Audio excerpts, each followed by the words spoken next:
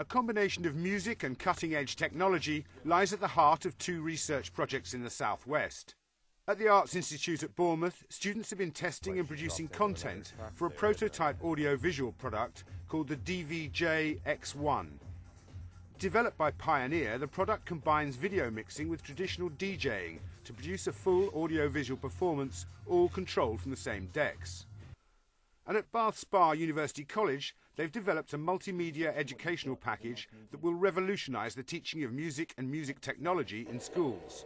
The Music Key is the work of Bath Spa's Cendia, the Centre for Digital and Interactive Audio, in a joint venture with Sound Technology plc, and it's designed both for teachers and pupils of all ages.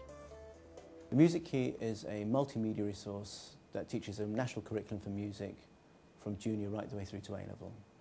Utilises a multimedia interface with text files and video files to teach traditional music and music technology in a present-day context. Running Apple's Logic software in the background, the Music Key interface shows the user what to do, explains every concept and provides sample song files which are loaded into the Apple software. There, a pupil can play, edit or recompose them with different instruments.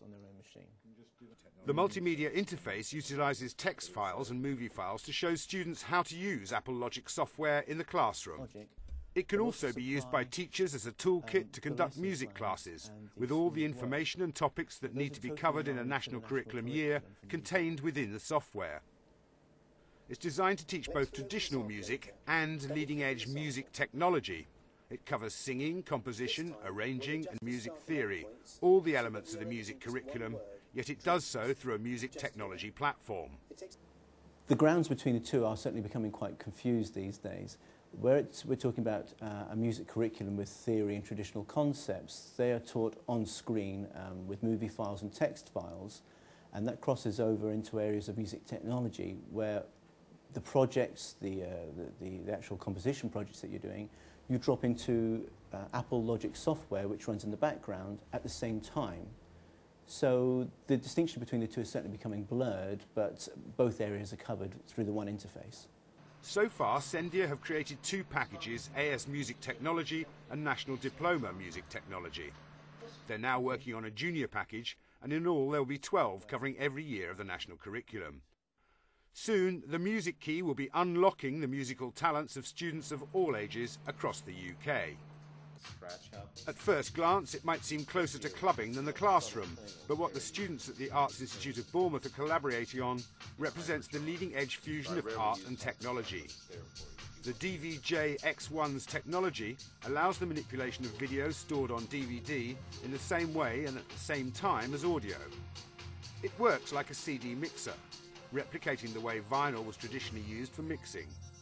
It allows scratching and looping, but because it can absorb 3 gigabytes of RAM buffer, it allows the manipulation of high quality images as well as music.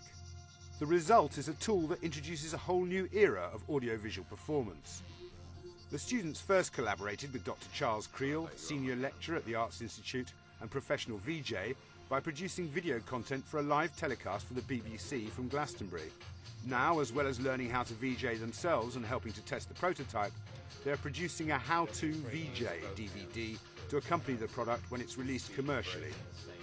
There's a lot of feedback that comes from the students because everybody who touches the machine sees it in a different way, and everybody who touches the machine works in it in a different way. So all that information comes back to me. I, I end up with a more complex understanding of how the machine works. And then, of course, I go off and I work with Pioneer and the engineers who are designing the next versions of these machines. And suddenly this gets fed back into the product development, which is fantastic for everybody concerned. The project teaches both the art of audiovisual performance and the discipline of working with industry. Above all, the students are getting hands-on experience with cutting-edge technology, which will open up new areas of art and performance through the simultaneous manipulation of video and audio. It really is the birth of a whole new medium and the birth of a whole new aesthetic. And I think the permutations of it will be infinite.